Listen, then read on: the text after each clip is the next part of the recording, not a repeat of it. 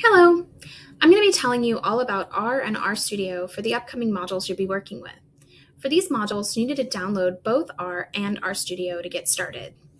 To download R, you're going to go to this website, rproject.org, and you're going to click this link, Download R.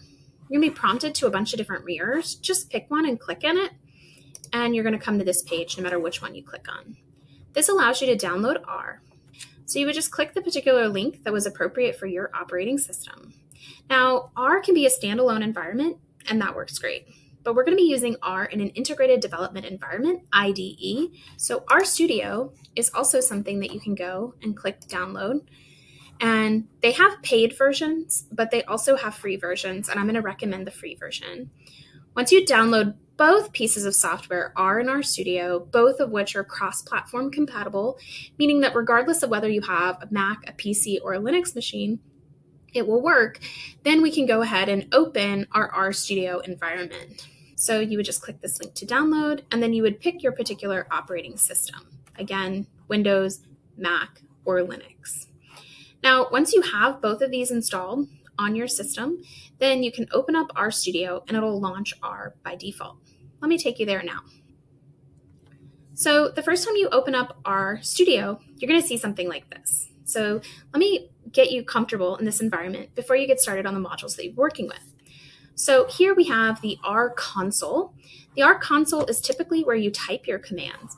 So we have up here the R version that we'll be working with, and yours might be a little different than what I'm showing here. All of the R versions have a numerical version as well as some name, which are fun names. And then a bunch of language here. Anything in blue with this greater than symbol, that's your command prompt and that's where you would type your commands. So for example, I can use this like a calculator and type in one plus one and press enter, and I'll get the answer two. You'll notice up here, we now have something in our history tab. So we have different tabs in this part of the field up here. This is our history tab, and our command that we typed here, once we pressed enter, not only gave us the result of that equation, but it also sh shows up here in our, our history tab. We can double click anything from our history and it'll launch back to our console and we can run it again. Okay. Now this is a really great way of keeping track of some of the commands you used. However, what I'm going to recommend is actually using what's called an R script. So up here, you'll see I hover over and I see new file. You're going to click this drop down menu. You're going to see a lot of different options. You're going to pick the first one called R script and click on it. Now you'll notice that we've gone from a three tab sort of area to four. So now we have this fourth area that's opened up here, and this is our R script. So we can type our commands, one plus one here, and then we can click this button to run it to the console down here. And you'll see that it runs over here and it loads in our history tab here. You can actually save your history to a file, but it's much cleaner to save this because when you're just getting started and you're learning, you're going to type a lot of commands that are going to go in your history that don't actually work. So if you save your history, you're saving not just the parts that worked, but the parts that didn't work. Putting all of the stuff that does work into your script and saving that is much better. Now, similar to working with a word processing software like Word, um, you'll notice that when you have an unsaved file, the file is red up here. So we can click this Save button here and save this um, file as a name. So for example, my first script.r. So all of these will have the file extension .r, letting you know that it's an R file. All right, so let's look at a couple of other things. So we also have this tab here, which is for the environment.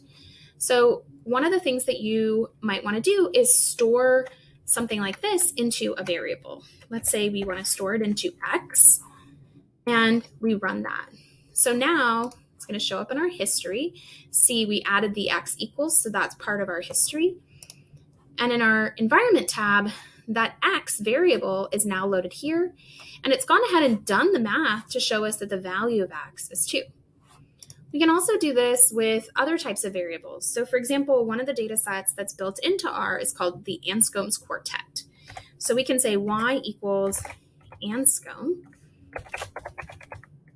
You'll notice as I'm typing, we get this nice drop down menu of all the different options, right? This is the one that I want. It has a little icon that looks like a table.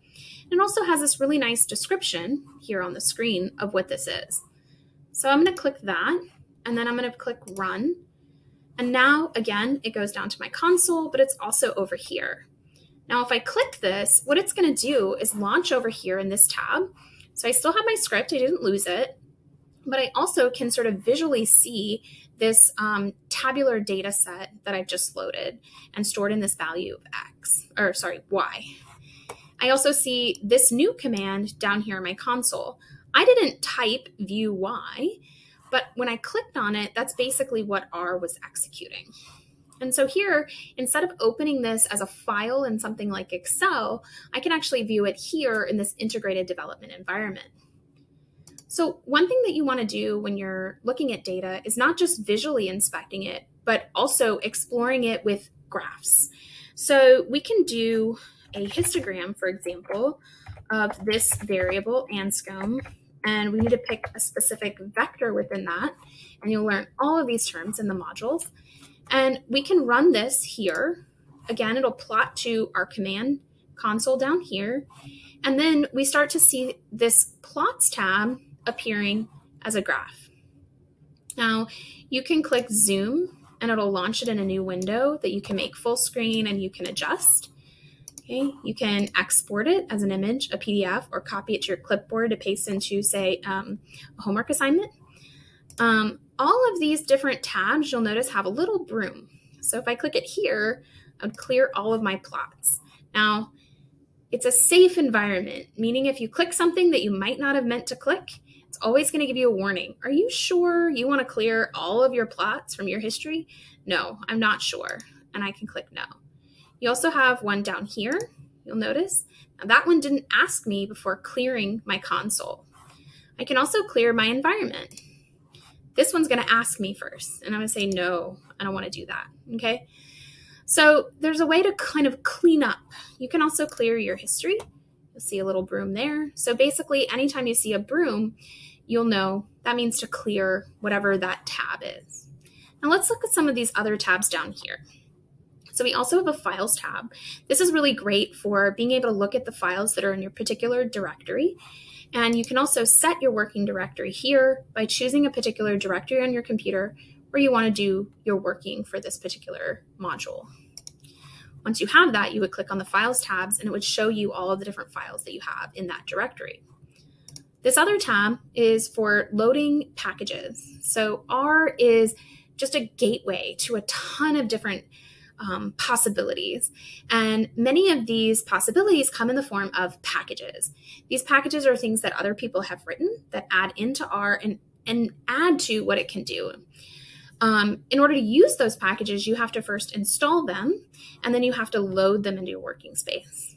And then sometimes you might have packages that need to be updated. All of that can be managed right here from this tab. Now, you might be wondering, what are all these commands she typed up here? So the nice thing is you have this really nice help tab, and this is all the documentation you need. No need to go to Google, you have it right here. So we typed in the command hist. I can type that here. Oh, that's for histograms. So that's gonna make a plot of the given data values, okay? And it tells you all of the different options that you can use for plotting a histograms to make them however you want, okay? We also typed the command Anscombe, so I can copy that and I can paste it here. And I can see, oh, okay, this is identical simple linear regressions. So that's what that data set is. How would I use that? Oh, I can pull out X1 and it's just one column. That's what we did here to look at the column one histogram. So this is a really nice way to um, read about a particular command that you might be using and learn more about its functionality. So hopefully through this video, I've given you a lot of um, exposure to the different types of functionality that you can get through RStudio, the integrated development environment that we'll be working with for this assignment.